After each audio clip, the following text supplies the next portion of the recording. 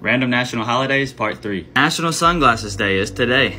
Kind of in a timely fashion as well. Kurt just dropped some sunglasses last week, so it would be disrespectful to not showcase them. Kurt, you ready? The yellows, the pink ones, You have the purple ones. the classic black ones. My favorite, the red ones. Celebrate it right, go get your glasses.